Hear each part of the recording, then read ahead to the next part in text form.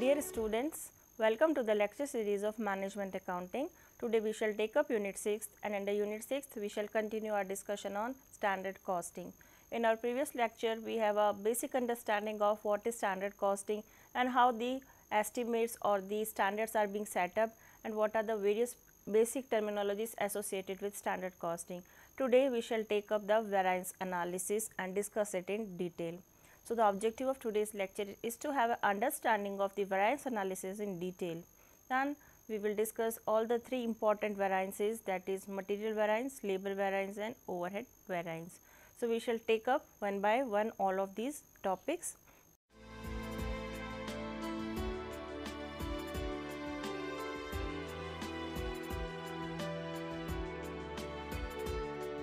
The first one under introduction is the objective that why variance analysis is being done.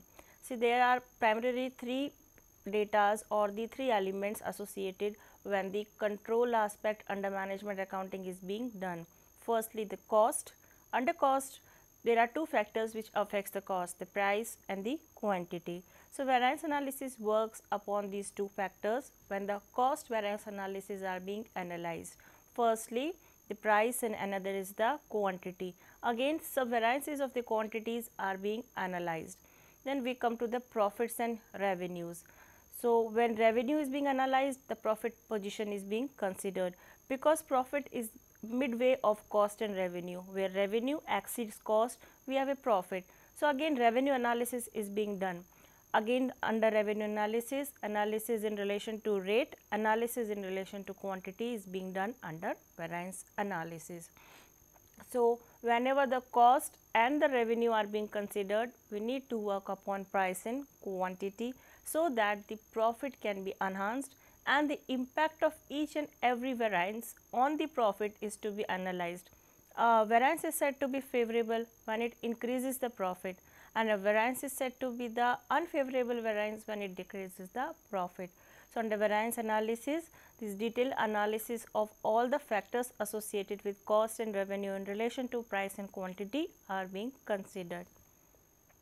So, these are the various components of the total variance, material variance, labor variance and overhead variance. Now, let us understand the meaning of variance analysis. Variance analysis is the process of computing the amount of variance and isolating the cause of variances between actual and standard. An important aspect of variance analysis is the need to separate controllable and uncontrollable variances. So, now let us understand what are these controllable and uncontrollable variances. Variance is said to be controllable variance if it can be controlled by departmental head. For example, if under a material or production process excess use of material is there due to material being defective. So, quantity is being used in a much more quantity than required. Then who is responsible for such act and whether it can be controlled? Yes, the inspection department, the inspection department is to be held responsible for non-detection of such defect. So, such variances are known as the controllable variances where the management can held responsible for a particular process which is being defective or which is being responsible for the variance to occur and the respective department head or the person can be made responsible for correcting such variances. So, where there is a interference of the management to control any variances, such variances are known as controllable variances. Now, coming to the uncontrollable variances. Variance is said to be uncontrollable if it cannot be controlled by the department head. Now, let us exemplify them. They are change in the market price of material. Now, if there is change in market price of material, the management has no role to play in it. Whatever price is there, the material is to be replaced by that price only. So, it may give shape to the variance or it can be favorable or adverse depending upon the change in price which has taken place. Secondly, change or general increase in the labor rate. If the payment rate of the labor has increased in the industry as such, the management has no role to play in it where the labor rate variance is being increasing. Similarly, if there is increase in the rate of power, it is also a uncontrollable factor giving rise to uncontrollable variance. So, under uncontrollable variance, no person or the department head can be held responsible for occurrence of such variance.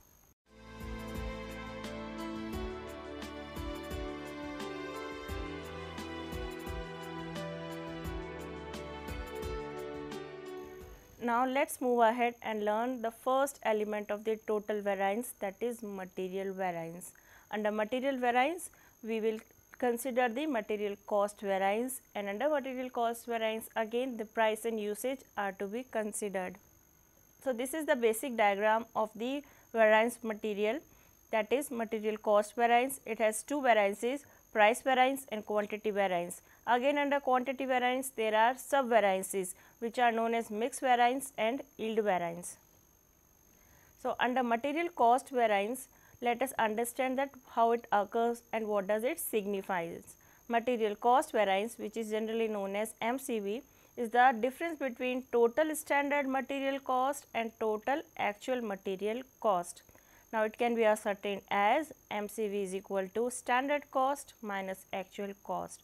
So, we have written it in a formula basis as SQ multiplied by SP minus AQ multiplied by AP it signifies here that SQ is the standard quantity for actual production into SP. SP is the standard price minus actual quantity into actual price. So, when standard quantity into standard price is being multiplied, we are getting the standard cost and when actual quantity is being multiplied by actual price, we are getting actual cost and difference of standard cost and actual cost will give us the figure of material cost variance. If standard cost is 100, and actual cost is 80. So, what happens that we are getting a favorable material cost variance of 20. What if the standard cost is 80 and actual cost is 100? So, we are getting a unfavorable variance of 20 rupees. So, this way the material cost variance is to be analyzed. Now, once we are having the main material cost variance as the favorable or unfavorable variance, we will move ahead and find out the reason of such variance to occur and when we are doing further calculations let us understand the steps being involved to compute the variances under material cost variance. So, under calculation of material cost variance first of all we need to find out standard cost for actual production. It can be ascertained in two forms either standard quantity per kg or the per usage is being known to us. So, standard quantity into standard price will give us standard cost for actual production or if we are having actual production we will multiply it with standard cost per unit. Standard cost per unit means that we have averaged out the standard cost which is being applicable for the standard outputs. So, actual production into standard cost per unit will also give us the result of standard cost for actual production. An important note over here is that standard quantity means that quantity which should have been useful for actual units produced. So, whenever standard cost is to be ascertained, it is to be ascertained for actual production. Now, next important factor is standard cost per unit which we have used right now for multiplication it with the actual production. So, what is this standard cost per unit? It is the standard quantity required per unit into standard price of material. That means, if standard quantity required for making one unit is 10 kg and the standard price of material per kg is 10. So, our standard cost per unit will be rupees 100 that is 10 into 10. Now, very important note over here that whether input or material will have a price per unit while the production will have a standard cost per unit. So, wherever we are going to multiply certain rate with to the production we will use standard cost per unit or standard cost per labor hour for that particular production. So, production wherever this word comes while making the calculations we will use the standard cost per unit while material that is kgs or other uh, unit which is being specified that it needs to be multiplied by the price per unit of that material or input. Now again let us analyze material cost variance with the help of formulas. Material cost variance we have right now discussed is the difference of standard cost and actual cost which is being ascertained by multiplying standard quantity into standard price minus actual quantity into actual price. Now the sub variance is that they are the reasons why such material cost variance has occurred. So, first one is the material price variance. Material price variance is being computed as standard price which is signified as SP minus AP, AP here means actual price into actual quantity used. Then another is the material quantity variance which is subvariance of cost variance and it is being computed as standard quantity minus actual quantity into standard price. So, this is the methodology to compute the cost variances that is price and quantity in relation to material cost price is material cost variance are being considered. Now, again the material quantity variance which we have discussed in our previous slide this one it has two sub variances material yield variance and material mix variance. Material yield variance is computed as actual yield minus standard yield into standard cost per unit. Yield here means production and we have discussed right now that wherever production is there we need to multiply it with the standard cost per unit. While the formula for material mix variance is being explained further because it is the difference of the revised mixed minus the actual mix. Revised mix is being computed as the actual mix is being uh, transformed into the standard ratio and difference of the two is being computed which is being multiplied by the standard price.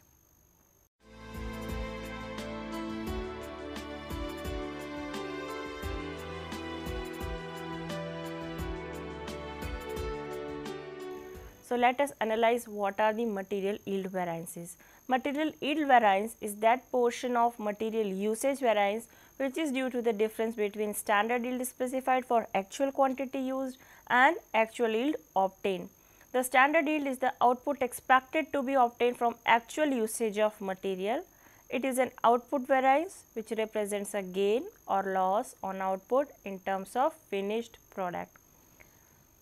Now, its formula is actual yield minus standard yield into average standard output price. Average standard output price is nothing but the standard cost per unit or it can be represented as actual production minus standard production into standard cost per unit. So, again entire procedure is being represented in one tabular format where material cost variance is being given its formula is being given then the variances of material cost price material cost variances are being mentioned that is material price variance and material quantity variance. Sub variances of quantity variance are material mix variance and material yield variance. Here again under material mix variance we have shortened the formula as sm minus am into sp. Sm means standard mix. This is revised standard mix minus actual mix into standard price.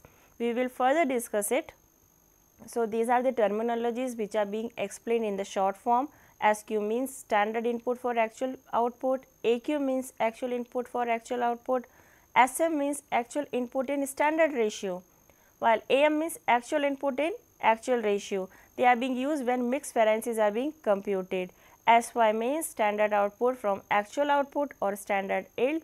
AY means actual yield, actual output or production. Any of the terms can be used. SCP means standard cost per unit.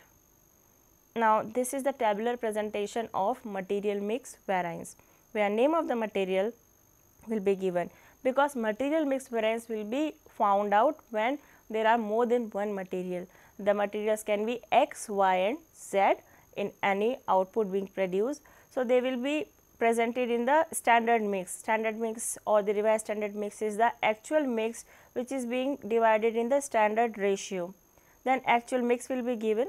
For example, actual mix is being given as 50, 30 and 20 that is 100 while the standard ratio which is being given in the question will signifies the standard ratio. In that standard ratio the 100 is to be divided. So, which will be represented under this column of revised standard mix the difference of the two is the mix variance in quantity.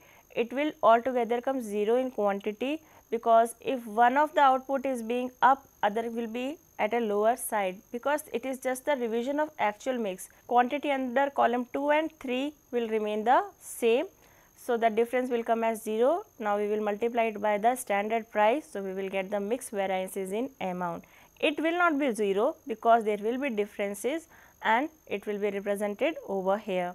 The material mix variance and material yield variance are subvariances of material usage variance. Therefore, the total of material yield variance and material mix variance is equal to material usage variance.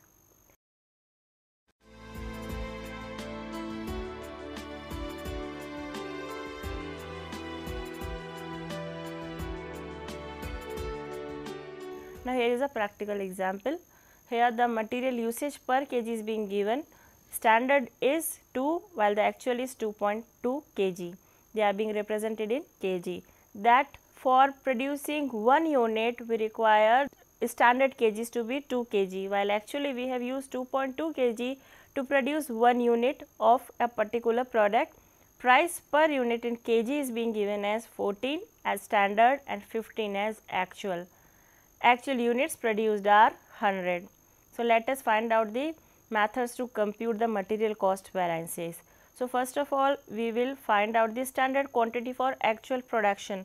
Actual production is 100 while the standard quantity required for producing the 1 unit is 2. So, for producing 100 units it will be 100 into 2 that is 200 while the rate given is 14. So, 100 into 2, 200 into 14 will give us the amount as 2800, while the actual quantity into actual output will be 15 into 100 into 2.2 that is 100 is the actual units produced into the actual kg being used in producing these units. That is 2.2 into 100 multiplied by the price per unit of 15 so, it will give us the value as 3300 and the material cost variance is the difference of standard cost minus actual cost which is 2800 minus 3300 amounts to minus 500 that is a adverse material cost variance is being computed.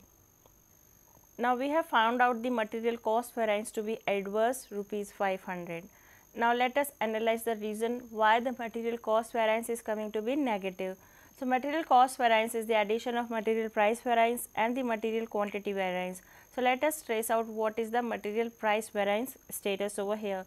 So, material price variance is being computed using the formula SP that is standard price minus actual price into actual quantity used. Actual quantity used is being worked out as AQ into AO, actual quantity into actual output then it is being computed as 14 is the standard price minus actual price 15 into 2.2 into 100 that is the actual quantity used. So, its simplification is giving us the material price variance to be negative that is rupees 220.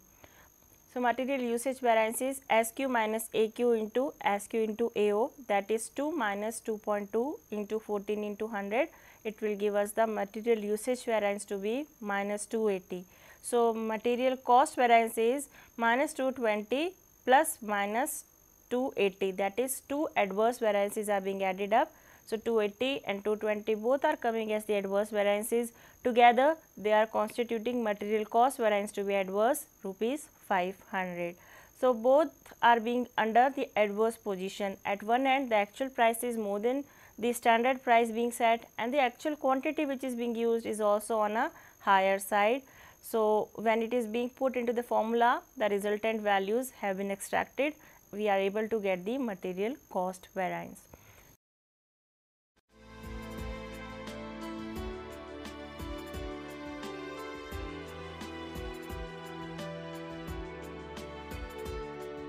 Now moving ahead we will learn about the labor cost variance. Labor cost variance is the difference between total standard labor cost and the total actual labor cost which is being abbreviated as TSLC and TALC. So, labor cost variance is being computed as as such. As such here means the standard hours into AO actual output into SR. SR means the standard rate of labor per hour minus actual overhead into actual output into actual rate of labor per hour. So, simplifying it we can get the formula of labor cost variance as total standard labor cost minus total actual labor cost. So, let us take up an example of the labor cost variances to be computed. The labor hours usage per unit is being given to be standard 2 and the actual 2.2. We have taken up the same figures however, the computation will be done in relation to the labor cost variance. Labor hour rate is given as 14 standard and 15 as actual and actual unit produced are 100. So, labor cost variance is being computed as standard hours into actual output into standard rate minus actual hours into actual output into the actual rate. So, standard hour per unit is 2 while the actual unit produces 100. So, our standard labor hours would be 200 they are to be multiplied by standard rate per hour of 14. So, 2 into 100 that is 200 labor hours into standard rate of 14 will give us the standard total cost to be 2800. It needs to be subtracted by the so actual labor hours into actual output into actual rate is being used to find out the actual total labor cost. Actual hours are 100 while the actual actual hours per unit is being given as 2.2 while actual units produced are 100. So, 2.2 into 100 will give us the actual labor hours to be 220 which needs to be multiplied by the actual rate of labor being paid per hour that is 15. So, we are getting the labor cost variance as 2800 minus 3300 to be minus 500. So, we will move ahead and learn the reasons of labor cost variance coming to be negative 500. So, again the price and the efficiency would be considered. So, under labor cost variance first of all the total variance of the labor that is the difference of standard total cost of the labor minus actual total cost of for the labor is being computed then labor rate variance and labor efficiency variance are being considered. So, labor rate variance is being computed as SR that is standard rate minus AR actual rate into actual hours being paid so, it is AH into AO. Then labor efficiency variance is being computed as standard labor hour minus actual labor hour into SR into AO that is the standard production being done. So, here is an example labor cost variance is due to labor rate variance and labor efficiency variance which is being written as LCV is equal to LRV is the labor rate variance plus LEV labor efficiency variance. LRV is being computed as SR minus AR into AH into AO that is SR is the standard rate 14 rupees being given, actual rate is 15 rupees multiplied by the actual hours or the actual labor hours. That is 2.2 into 100 which will give us the figure to be minus 220. Then we will find out the labor efficiency variance. That is standard hours being given as 2 actual hours being used is 2.2 into the standard output for the actual production that is 14 into 100 it is so it will give us the value as minus 280 so minus 220 minus 280 together will give us the labor cost variance to be 500